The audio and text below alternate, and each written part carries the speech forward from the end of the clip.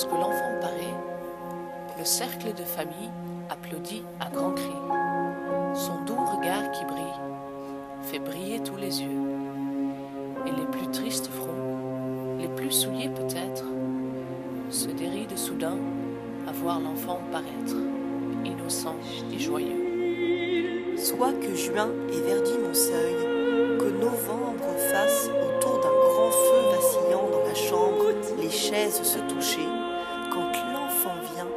la joie arrive et nous éclaire. On rit, on se réécrit, on l'appelle, et sa mère tremble à le voir marcher. Quelquefois nous parlons, en remuant la flamme, de patrie et de Dieu, des poètes, de l'âme, qui s'élèvent en priant.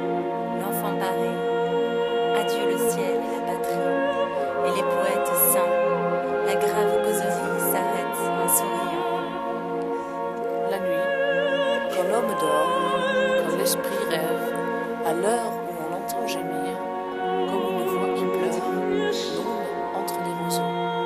Si l'aube, tout à coup là-bas, luit comme un phare, sa clarté dans les champs éveille une fanfare de cloches et d'oiseaux. Enfant, vous êtes l'aube et mon âme est la plaine qui, des plus douces fleurs, embaume son haleine quand vous la respirez.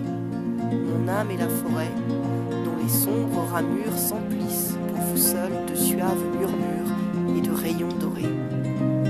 Car vos beaux yeux sont pleins de douceur infinie, car vos petites mains, joyeuses et bénies, n'ont point mal fait encore. Jamais vos jeunes pas n'ont touché votre fange, tête sacrée, enfant aux cheveux blonds, bel ange à l'auréole d'or. Vous êtes parmi nous,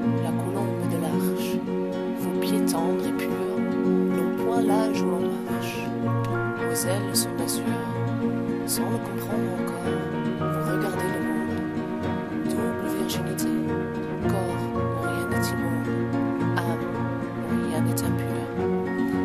Il est si beau l'enfant, avec son doux sourire, sa douce bonne foi, sa voix qui veut tout dire, ses pleurs vite apaisés, laissant errer sa vue étonnée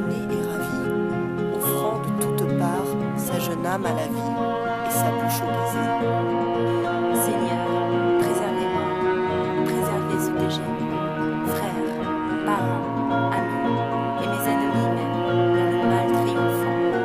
de jamais voir, Seigneur, l'été sans fleurs vermeilles, la cage sans oiseaux, la ruche sans abeilles, la maison sans enfants.